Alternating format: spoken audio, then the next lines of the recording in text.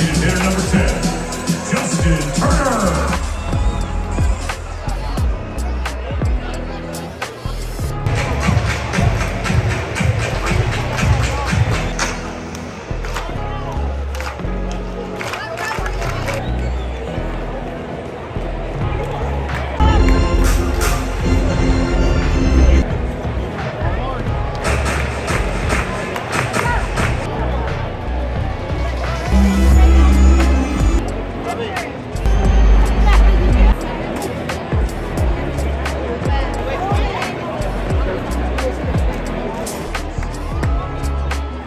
He's ready for.